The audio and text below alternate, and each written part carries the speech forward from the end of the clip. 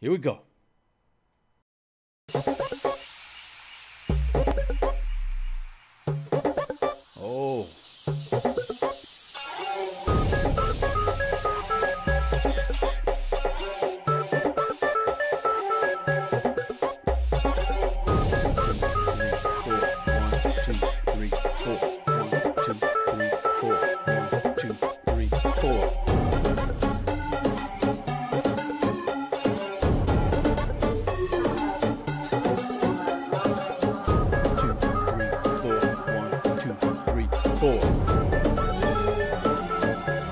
Building.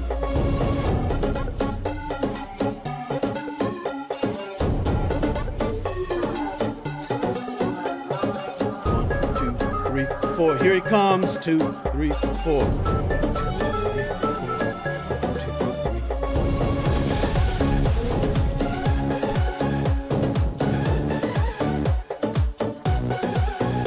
Hear that? One, two, three, four. That pound. Two, three, four. That's your if statement.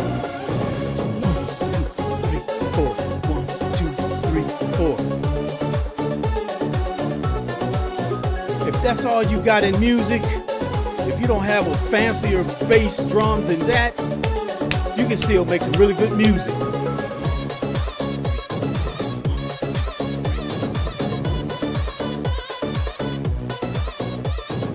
Can you overuse that? Hell no, you can't overuse that.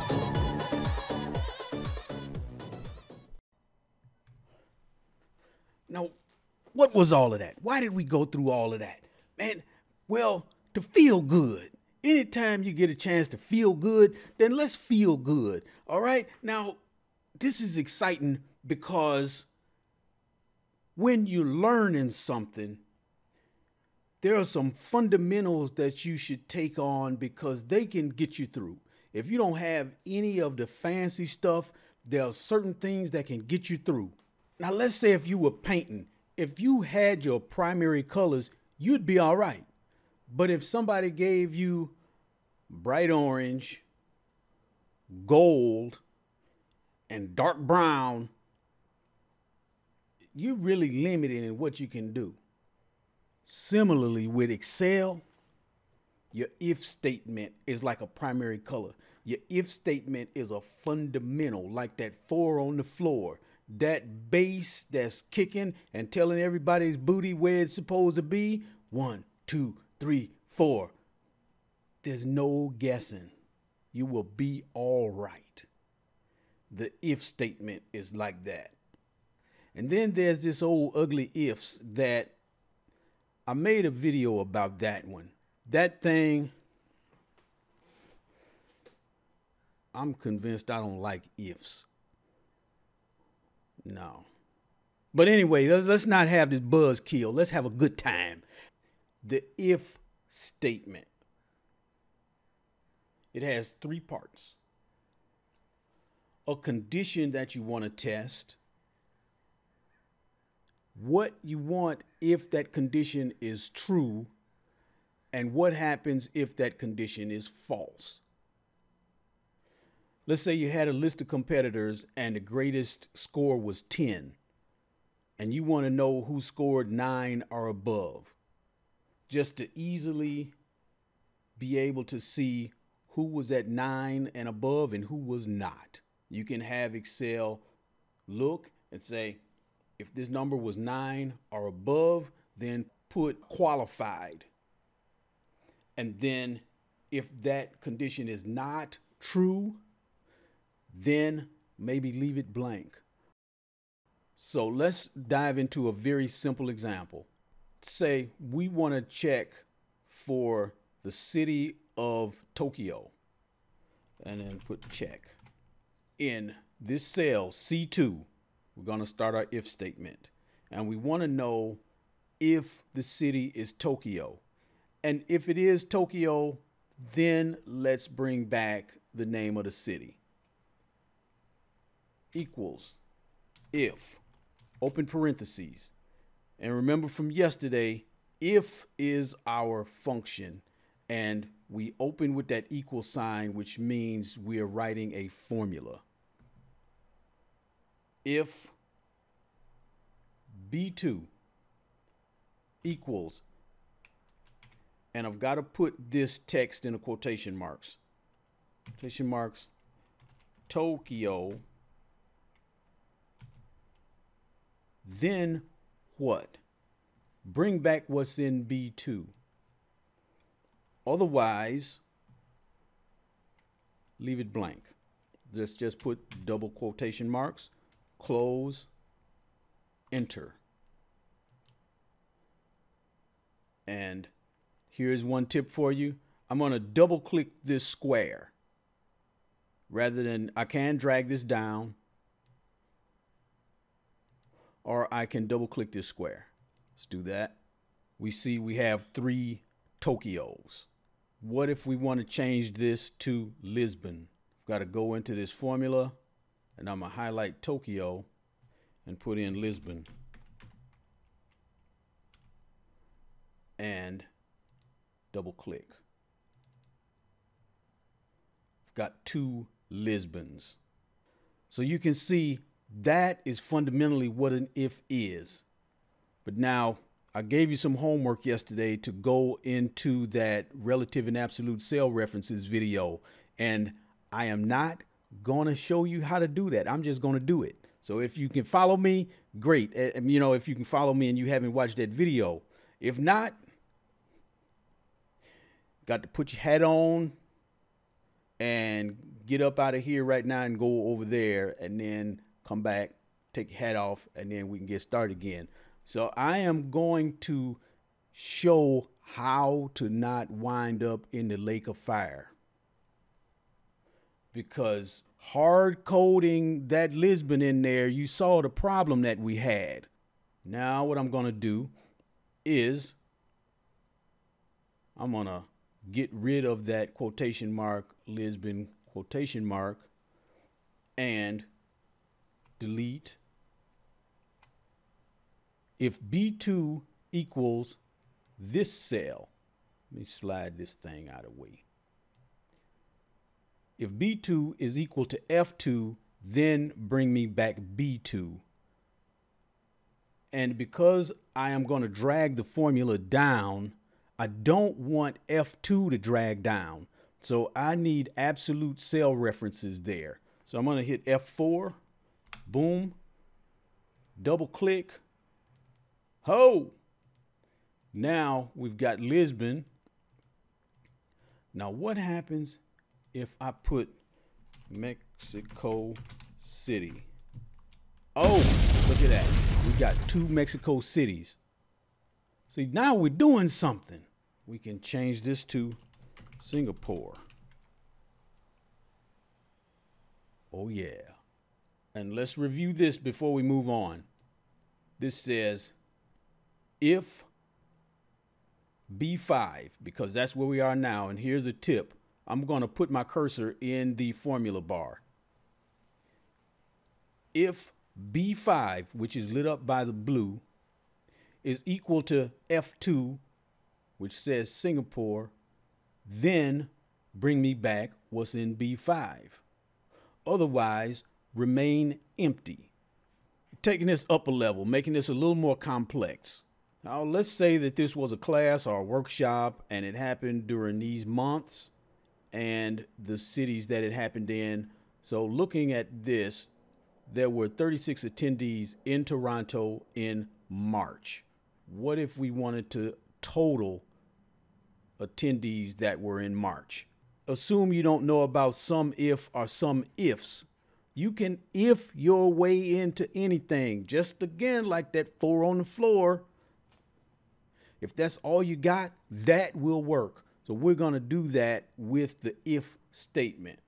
Equals if this month is equal to this month, and we need our absolute cell reference, F4. Then, what if it's true? Bring me back the total number of attendees. then comma and empty. Double click. Now, let's do a sum equals sum. We saw that yesterday. And I'm going to drag and copy this. Enter. A total of 68 in March. And what if we want to know about January?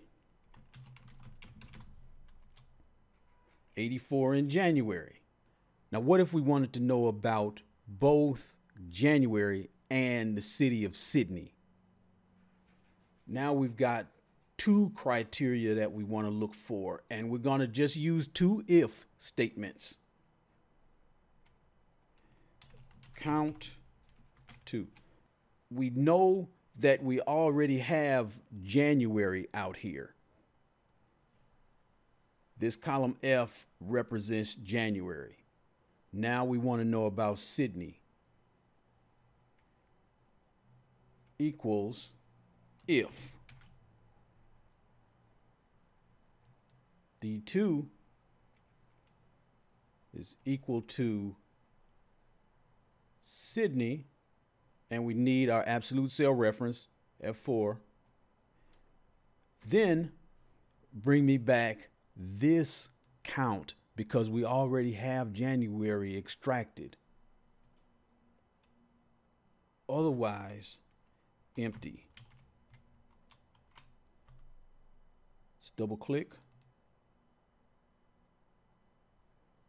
And let's do a sum equals sum and highlight this equals. We had January, there was 84. And in Sydney, there's 59 in January. So these are some pretty basic examples. We'll see more through the rest of this month, but that gets you introduced to a key, key, key function in Excel. Let's look at a nested if statement. That means we're going to put an if inside of an if. And this is where you hear some people say that the if is overused. Well, if that's what you got, then that's what you got. Now we could use a VLOOKUP. We could do other ways of fixing this situation, but we want to take these scores and categorize them. Want to say that this 65 is denied.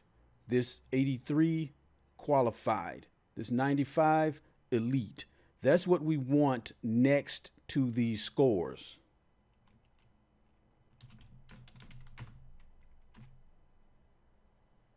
Now let's think about our if statement. If that 65,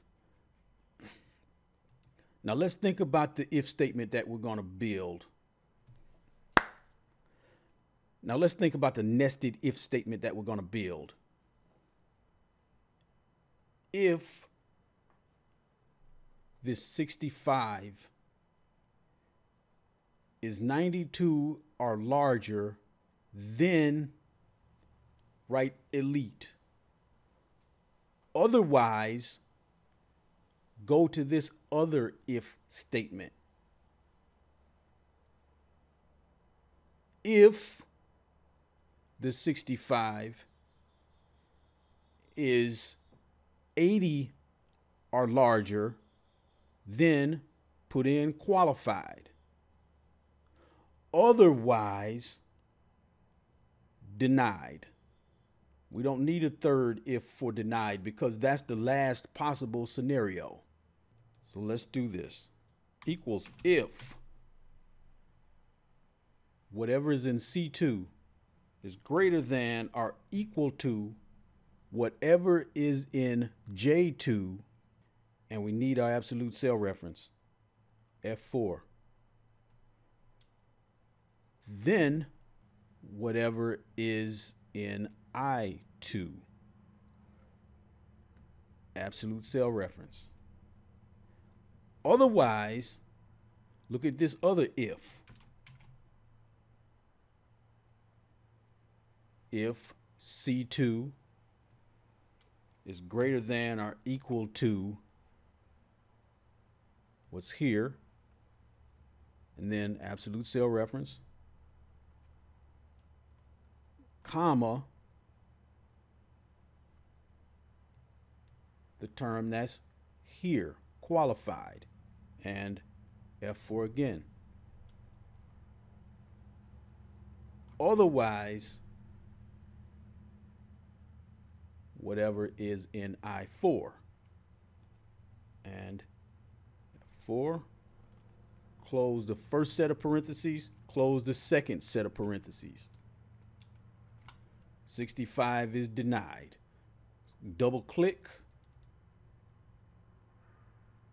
83, yes, qualified. This 70, denied. The 97 here is called elite. We could go on with this. And later in the month, I'll show you the VLOOKUP, show you a lot of easier ways to do things. But I'm telling you, if you can sort, filter, and write if statements, you can go a long, long way. Those are your primary colors. That is your four on the floor to get people dancing and keep them having a good time. All right, we'll see you tomorrow with Excel Ignited.